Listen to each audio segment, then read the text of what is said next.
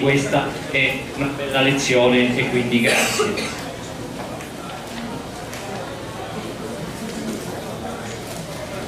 Boa noite. É, é, em primeiro lugar, quero agradecer não apenas o Marcos, mas todos é, aqueles é, que estão aqui nessa belíssima universidade e todos os estudantes que vêm de todas as partes do Brasil. Toda vez que venho ao Brasil é uma experiência muito bela, principalmente pela participação do público em todos os eventos, é sempre uma bela experiência. É, como diz Gramsci, os educadores também devem ser educados e é, é, nesse sentido que é importante estar aqui é, e agradeço a todos.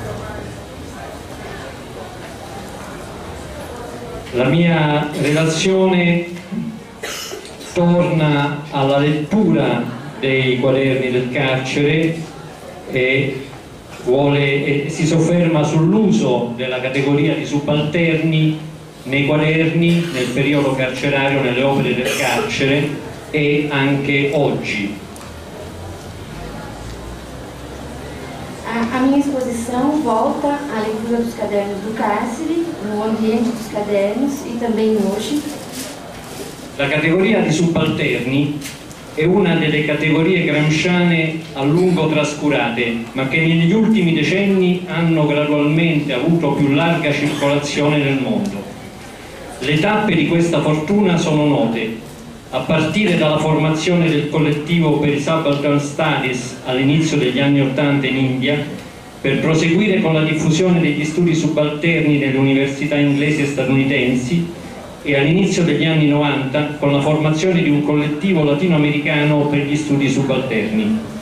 A categoria de subalternos é uma das categorias gramscianas por muito tempo negligenciadas, mas que nos últimos decênios tem é, gradualmente é, tido uma maior circulação no mundo.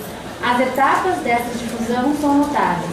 A partir da formação do coletivo para os Subaltern Studies, no início dos anos 80 na Índia, para prosseguir com a difusão dos estudos subalternos nas, nas, nas universidades inglesas e norte-americanas. E, no início dos anos 90, com a formação de um, de um coletivo latino-americano para os estudos subalternos. La fortuna di questo termine e di questo concetto gramsciani subalterni è però dovuta anche a una serie di fraintendimenti. Già nel primo congresso mondiale della International Gramsci Society, svoltosi a Napoli nel 1997, Joseph Buttigieg spiegò come la primaria diffusione della categoria gramsciana di subalterni nel mondo avvenne per opera di studiosi indiani, per la precisione bengalesi, che avevano scarsa conoscenza di quello che Gramsci aveva scritto, avendolo appreso solo da un'antologia in lingua inglese che riportava in una sezione di scritti sulla storia d'Italia solo due note del quaderno 25, intitolato da Gramsci Ai margini della storia, storia dei gruppi sociali subalterni, titolo e quaderno che l'antologia non citava nemmeno. A fortuna desse termo e desse, e desse conceito gramsciano subalterno é, porém, devida também a uma série de mal entendidos. Já no primeiro Congresso Mundial da International Society, eh, Gramsci Society, ocorrido em Nápoles em 1997, Joseph Pucek explicou como a primeira difusão da categoria gramsciana de subalternos no mundo ocorre por obras de estudiosos indianos, precisamente bengaleses, que tiveram escasso conhecimento daquilo que Gramsci havia escrito apreendendo apenas a partir de uma antologia em língua inglesa que fazia referência em uma seção de escritos sobre a história da Itália, somente duas notas do caderno 25, intitulado por Gramsci A Imagem da História, As Margens da História, ou História dos Grupos Sociais Subalternos, título e caderno que a antologia nem ao menos citava. Gli studiosi indiani furono comunque colpiti dall'importanza che Gramsci attribuiva alla storia dei subalterni, soprattutto nel risorgimento e nel risorgimento italiano, e ne imitarono alcune chiavi esplicative, applicandole alla storia dell'India, per cui Nehru divenne per essi una specie di Cavour, mentre il ruolo di Mazzini venne affidato al Mahatma Gandhi. Contudo, os estudiosos indianos ficaram impressionados pela importância que Gramsci atribuía à história dos subalternos, sobretudo no ressurgimento, apreendendo dele algumas chaves explicativas, aplicando-as à história da, da Itália. Assim, é, Nervo é, torna-se para eles uma espécie de Cavour, enquanto o papel de Mazzini è confiato a Mahatma Gandhi. Con la diffusione del termine subalterni nelle università anglo-americane si produsse una svolta. Studiosi influenzati soprattutto dal, dal, decostruzionismo e dal pensiero di Foucault usarono la categoria di subalterno e il concetto di subalternità in modi lontani da quelli propriamente gramsciani. Grazie al lavoro di studiosi come Buttigieg stesso, o Marcus Green, o Massimo Modonesi, e a, mio, e a mio avviso divenuto chiaro come questa operazione sia stata quasi sempre filologicamente errata e anche spesso politicamente e culturalmente ambigua. Com a difusão do termo subalternos nas universidades anglo-americanas, se produz uma mudança significativa. Estudiosos influenciados, sobretudo, pelo desconstrucionismo ou pelo pensamento de Foucault, usaram a categoria de subalterno e o conceito de subalternidade de modo diverso daquele propriamente gramsciano. Graças ao, ao trabalho de estudiosos como o próprio Budjeg, ou Marcus Green, ou Massimo Modonese, e ao meu ver, tornou-se claro como esta operação foi quase sempre filologicamente errada e também frequentemente politicamente e culturalmente ambigua. Condivido queste critiche, ma mi chiedo quali sono i motivi intrinseci che hanno reso possibile il successo di questa categoria? Cosa dice esattamente Gramsci a proposito di subalterni? Quali usi fa del termine subalterni nelle opere del carcere? Divido estas critiche é, é, concordo com essas críticas, mas me pergunto: quais são os motivos intrínsecos que tornaram possível o sucesso dessa categoria? O que exatamente diz Gramsci a propósito dos subalternos? É, quais usos faz do termo subalternos nas obras do cárcere? Il quaderno 25, intitolato appunto da Gramsci Storia dei gruppi sociali subalterni, è un quaderno speciale ovvero un quaderno monotematico scritto nel 1934 nella clinica di Formia. In questo quaderno Gramsci ricopiò solo una parte delle note che aveva scritto precedentemente nei quaderni precedenti e che trattavano di subalterni o che addirittura avevano come titolo Storia delle classi subalterne. Al contrario, Gramsci trascrisse nel quaderno 25 alcune note che non avevano questo titolo, ma che parlavano di subalterni in vario modo. O caderno 25, intitulado precisamente por Gramsci História dos Grupos Sociais Subalternos, é um caderno especial ou monotemático, escrito em 1934 na Clínica de Forma. É, nele, Gramsci reescreveu somente uma parte das notas que havia escrito antes nos cadernos que tratavam dos subalternos ou mesmo que haviam como título História das Classes Subalternas. Ao contrário, Gramsci transcreveu no caderno 25 algumas notas que não haviam esse título, mas que falavam dos subalternos de diversos modos. All'inizio del quaderno 25 vi sono due note ricopiate dal quaderno 3. In effetti il termine subalterni compare fin dal quaderno 1, inizialmente nell'ambito di discorsi di tipo militare o che usano il linguaggio militare come metafora. Nella nota 43 del quaderno 1, ad esempio, si parla di ufficiali subalterni dell'esercito a cui Gramsci paragona i piccoli intellettuali. Dopo alcune presenze poco significative del termine, è nel quaderno 3 che troviamo le due note che poi saranno ricopiate all'inizio del quaderno 25. No início do caderno 25, existem duas notas reescritas do caderno 3. Com efeito, o termo subalternos aparece desde o caderno 1, principalmente no âmbito dos discursos diretamente de tipo militar, o que usam a linguagem militar como metáfora. Na nota 43 do caderno 1 se fala, por exemplo, de oficiais subalternos no Exército, na página 37, é, que Gramsci compara aos pequenos intelectuais. Depois de algumas citações é, pouco significativas do termo, é no caderno 3 que encontramos as duas notas que depois serão reescritas no início, no início do caderno 25. La prima è la nota 12 del quaderno 3, dedicata a Davide Lazzaretti, che sarà ripresa in seconda stesura insieme a una nota meno significativa del quaderno 9 sullo stesso argomento.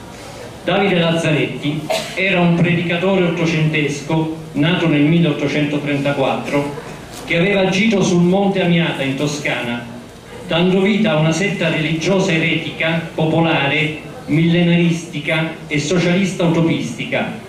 Egli aveva condotto una predicazione sulla base di confusi elementi visionari e superstiziosi che avevano finito per allarmare sia lo Stato italiano che la Chiesa cattolica per il seguito popolare che raccoglieva nei paesi della sua zona.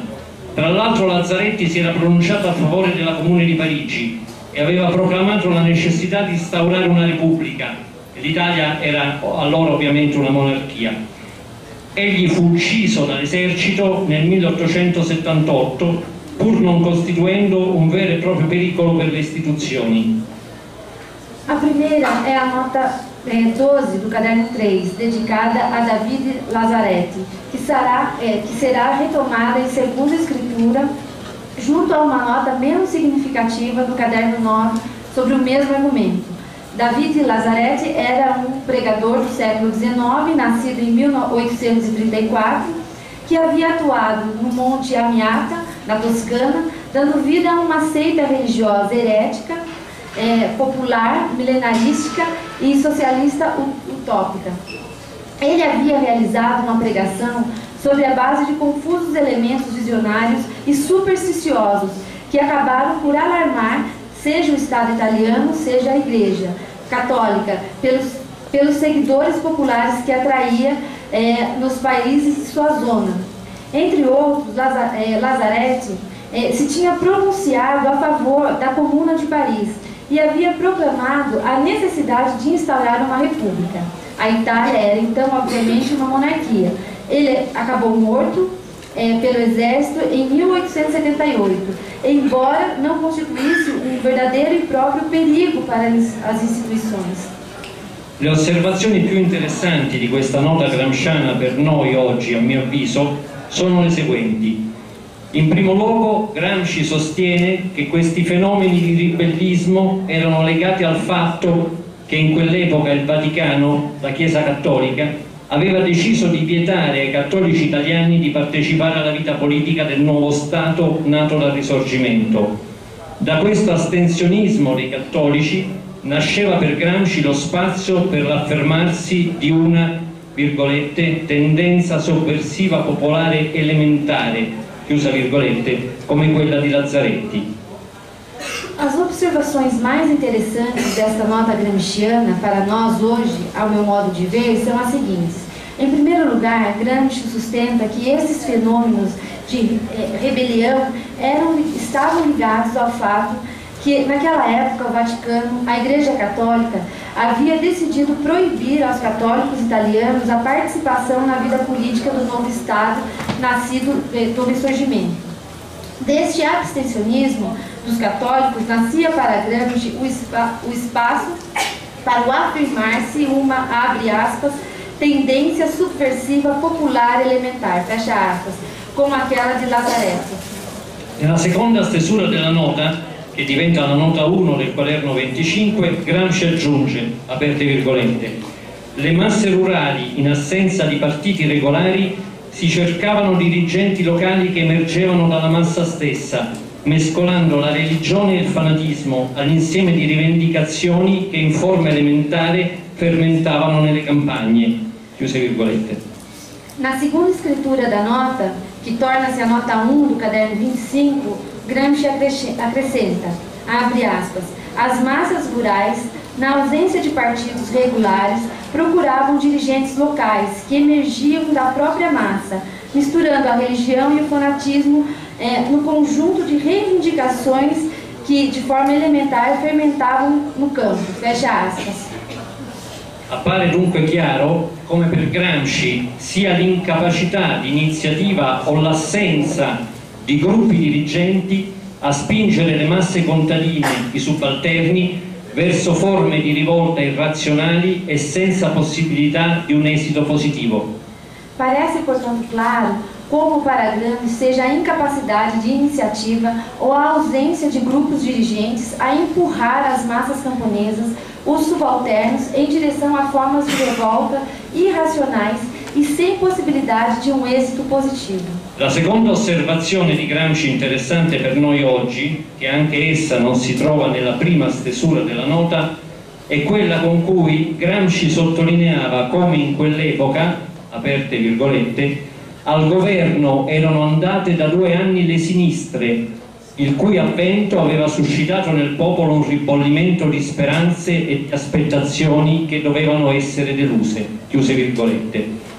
Dunque queste ribellioni popolari contadine arretrate sono dovute per Gramsci, primo, alle incapacità delle elite politiche di organizzare e dirigere le classi subalterne, in particolare le classi contadine, secondo, alla incapacità della sinistra di guidare l'ansia di cambiamento e giustizia sociale delle masse subalterne. A segunda observação de Gramsci interessante para nós hoje também essa não se encontra na primeira escritura da nota, é aquela com a qual ele sublinhava como naquela época é, as esquerdas estavam no governo há dois anos, fato que suscitava é, no povo uma fermentação de esperanças e de expectativas que deviam ser desfeitas. Portanto, essas rebeliões populares camponesas atrasadas são devidas para Gramsci, primeiro, a incapacidade das elites políticas de organizar e dirigir as classes subalternas, em particular as classes camponesas. 2. A incapacidade da sinistra de, da esquerda de guiar a ânsia de mudança e de justiça social das massas subalternas. Viene da chiedersi quante volte si è ripetuta questa situazione nel Novecento e si ripete tuttora.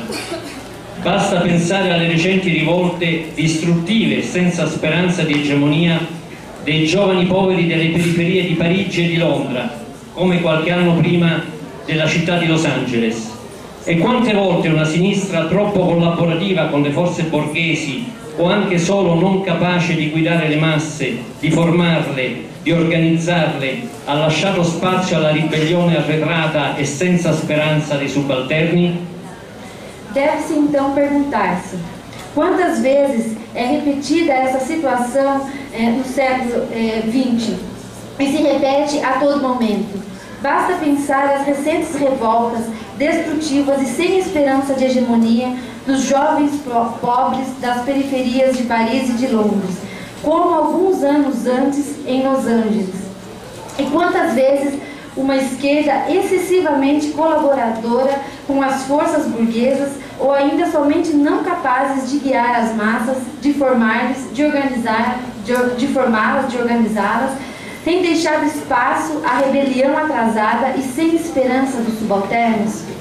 Resta il fatto che anche qui Gramsci, come già avviene nelle importanti considerazioni sul senso comune o sul folklore, non mostra di dare un giudizio molto ottimistico sulla capacità dei subalterni di uscire da soli dal proprio stato di subalternità, di sfidare da soli la classe egemone.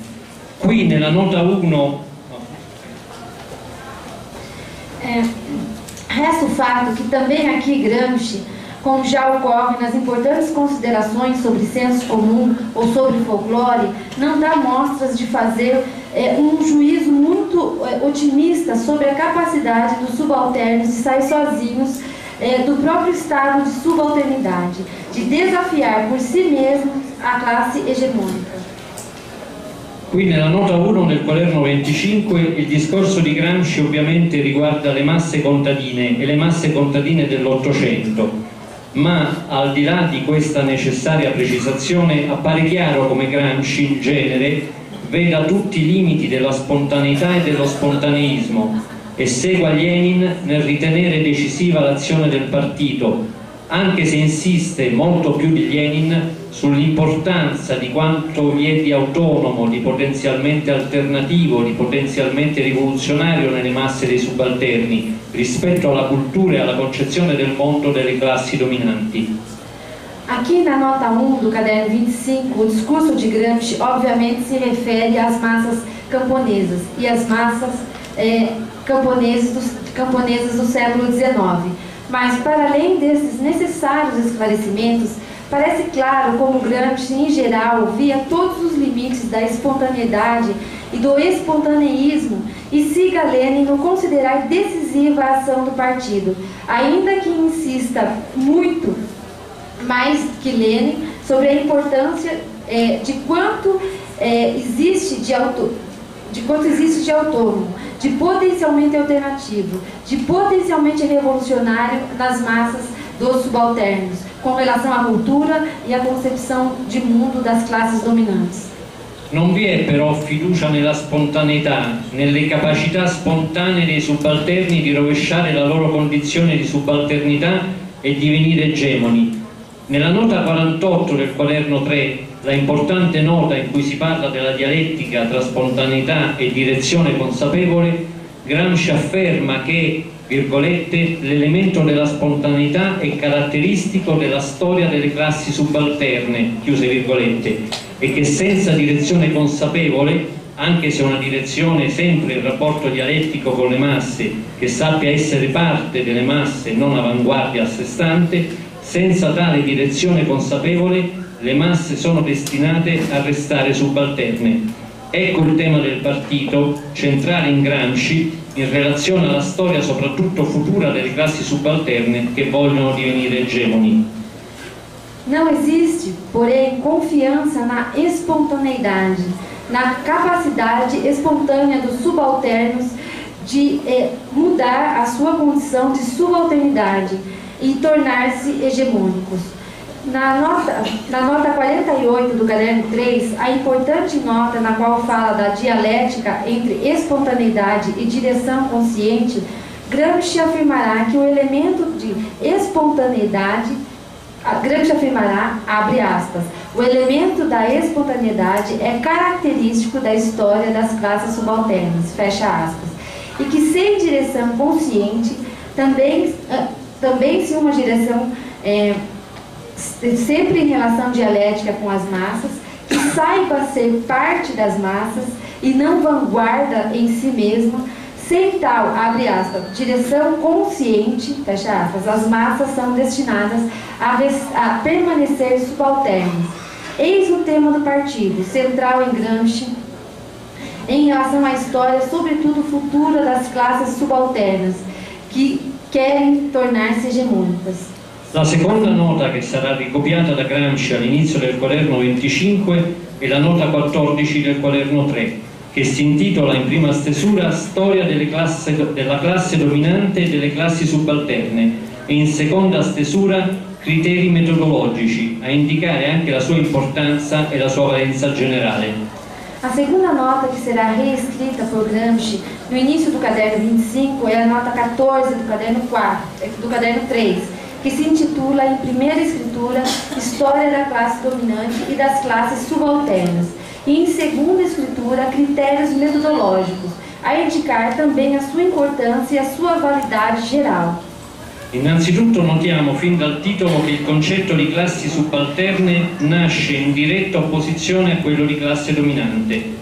Raramente, solo tre volte nei quaderni del carcere, Gramsci usa l'espressione classe egemone. Una di queste, la più significativa, sarà in questo stesso quaderno 3, nota 90, quando Gramsci parlerà di, di classe egemone e di classi subalterne che subiscono questa egemonia. Antes de tudo, notamos a partir do título que o conceito de classes subalternas nasce em direta oposição àquele de classe dominante. Raramente, somente três vezes nos cadernos, Gramsci usa a expressão classe hegemônica. Uma destas, a mais significativa, a mais significativa será nesse mesmo caderno 3, nota 90, quando Gramsci falará de classe hegemônica e de classes, subalternas, classes, subal, classes hegemônicas e classes subalternas que sofrem esta hegemonia. Altrove, ad esempio nella nota 41 del quaderno 10, Gramsci affermerà, virgolette, la filosofia della praxis non è lo strumento di governo di gruppi nominanti per avere il consenso ed esercitare l'egemonia su classi subalterne, è l'espressione di queste classi subalterne che vogliono educare se stesse all'arte di governo. Chiuse virgolette. Em outro lugar, por exemplo, na nota 41 do quaderno 10, 2, Gramsci afirmará que, abre aspas, a filosofia da praxis não é um instrumento de governo dos grupos dominantes para conseguir o consenso e exercitar a hegemonia sobre classes subalternas. É a expressão dessas classes subalternas que querem educar a si mesma na arte de governo. Fecha aspas. Ciò che qui letteralmente sembra un processo di autoeducazione messo in relazione con tanti altri brani dei quaderni, in realtà appare, a mio avviso, essere per Gramsci qualcosa di più complesso. Presuppone il rapporto dialettico con ciò che nei quaderni a volte è denominato partito o moderno principe, a volte, virgolette, centro omogeneo di cultura che deve svolgere un lavoro educativo formativo, virgolette, come leggiamo in seconda stesura anche nel quaderno 24, subito prima del quaderno 25 sulle classi subalterne. È un partito, quello che prefigura Gramsci, che deve essere parte della classe operaia e delle classi subalterne, ma che è comunque necessario e deve avere una capacità di elaborare una concezione del mondo, la filosofia della praxis, come Gramsci chiama la sua reinterpretazione del marxismo, potenzialmente egemonica, dote, che le classi subalterne in sé non hanno.